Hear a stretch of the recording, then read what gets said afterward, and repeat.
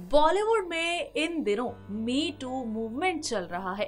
तो वहीं मी to movement को लेकर कई महिलाएँ सामने आ रही हैं, जहाँ तनुश्री दत्ता और नाना पाटेकर का मामला थमने का नाम नहीं ले रहा है। तो वहीं अब बॉलीवुड की क्वीन कंगना रनौत ने भी एक बड़ा खुलासा कर दिया है।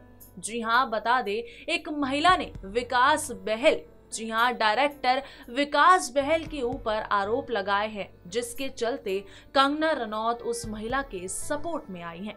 खबरों की माने तो इस मामले में कंगना ने अपने स्टेटमेंट में लिखा है, मैं इस पीड़ित पर पूरी तरह से भरोसा कर सकती हूँ। विकास की 2014 में शादी हुई थी। वहीं जब हम क्वीन फ़िल्म की शूटिंग कर रहे थे, उस वक्त भी विकास शादीशुदा थे।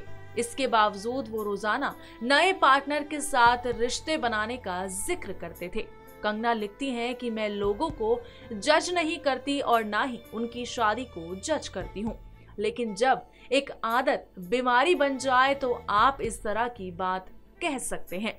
विकास के खुलासे करते हुए कंगना लिखती हैं, विकास हर रात पार्टी करते थे। मुझे इन पार्टियों में शामिल ना होने के लिए शर्मिंदा करते थे। विकास जब भी कहीं मिलते, वो अजीब तरीके से मुझे गले लगाते थे।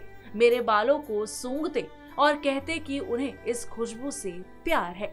विकास उन्हीं दिनों मेरे पास एक हरियाणा की गोल्ड मेडलिस्ट पर बन रही फ़िल्म की स्क्रिप्ट लेकर आए थे। लेकिन जब मैंने पीड़ित को सपोर्ट किया तो उसके बाद विकास ने मुझसे बात करना बंद कर दिया। नेक्स्ट नाइन न्यूज़ रूम से सुगंधानंद की रिपोर्ट।